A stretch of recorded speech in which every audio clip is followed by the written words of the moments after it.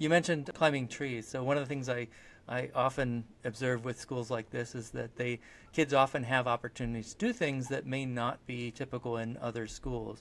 But that also entails sort of managing those levels of risk. So what does that look like for you?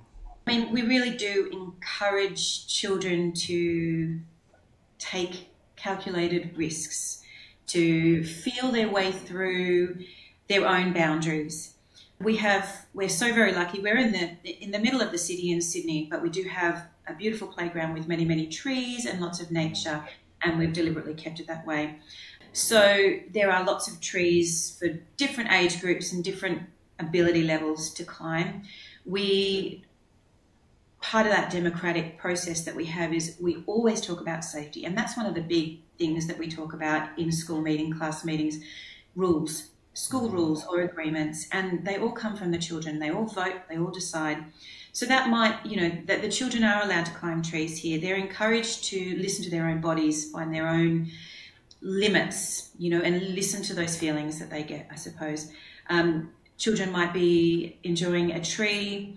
Some of the other children might notice that it's not dangerous. They all notice each other. So they, it might come to the school meeting and we might put some agreements in. Or a teacher might say, this this limb is probably not strong. We need to have some agreements around this to keep everyone safe.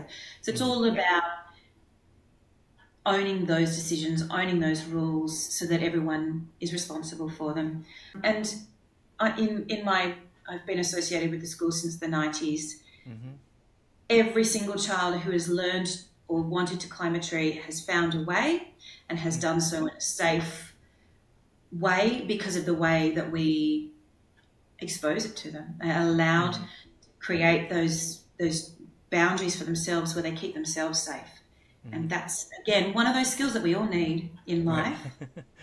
and and also just the trust that yeah. that you you know that you give those children.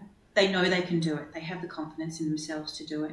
So that goes a long way. Mm. I was just going to add to that that I think the we respect where their limits are as well. You know, so rather than telling them that they can't do something because we believe it's unsafe when they believe in themselves they can do it, there's giving them a sense of, you know, ownership over that and, and in trusting that the child knows what their limits are, depending on how old they are, obviously, and where their level of maturity is. So we have a lot of tree houses and climbing climbing structures that go up fairly high. And then, you know, and obviously it's that's all ability leveled so that, you know, the older children, you know, being more capable and can, can extend themselves higher, you know, into the sky than, than the younger children, but it gives those younger children something to work towards. Mm-hmm. Also, a lot of those high above climbing structures have been designed and built in conjunction with the children as well as part of the art projects that, that have happened in the past.